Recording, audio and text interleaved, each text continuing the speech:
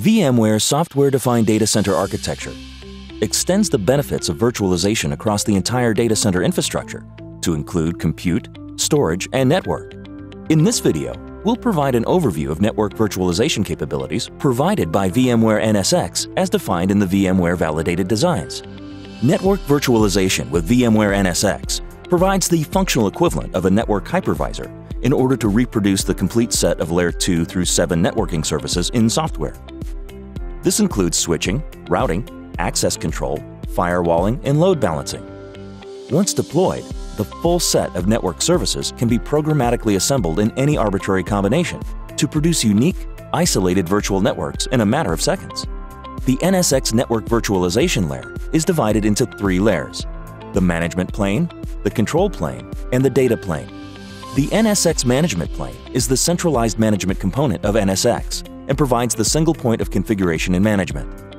The NSX control plane maintains information about the hosts, logical switches, distributed logical routers, and distributed firewalls. The NSX data plane provides services such as distributed routing, logical firewall, and virtual to physical bridging. In the VMware validated designs, two separate NSX instances are deployed.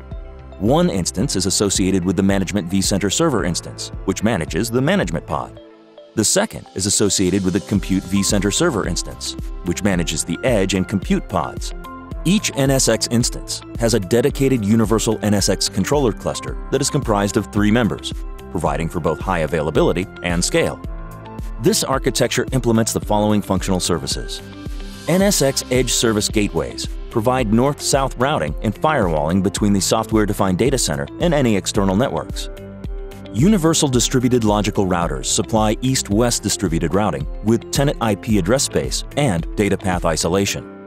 Logical switches are used to instantiate isolated Layer 2 broadcast domains referred to as application virtual networks. A distributed firewall is deployed at the kernel and VM network adapter level in a highly scalable manner without creating bottlenecks on physical appliances. The NSX Edge Load Balancer provides load balancing services up to Layer 7, allowing distribution of traffic across multiple servers to achieve optimal resource utilization and availability. In a dual region design, the NSX Manager instances across regions are paired in a primary-secondary relationship for both the management and compute workloads.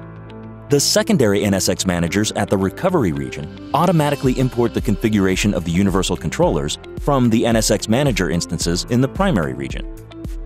And there you have it, an introduction into software-defined networking used in the VMware Validated Designs. To learn more about VMware Validated Designs, visit vmware.com